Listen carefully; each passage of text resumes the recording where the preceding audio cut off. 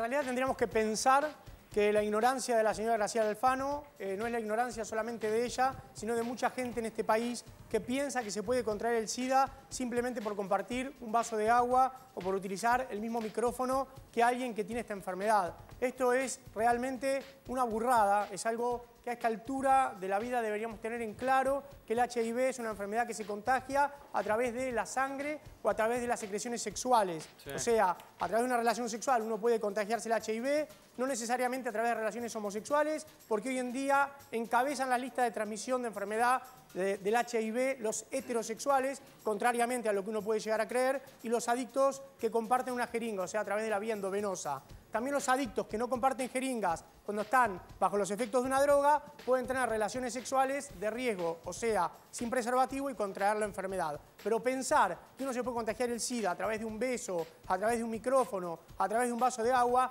realmente es una ignorancia que nos debería servir a todos como población para tomar conciencia y dejar de discriminar a aquellas personas que están enfermas por este virus y que no eligieron esta enfermedad. Muchas veces la contrajeron sin haber tomado conciencia porque no sabían cómo se transmitía y tener que dejar de discriminar como población, dejar de discriminar a aquellos pacientes que sean portadores o que tengan esta enfermedad. Y además, sabiendo el contagio y la forma de contagio, tomar los recaudos necesarios para no seguir engrosando esta población de pacientes o de personas que están infectadas con este virus.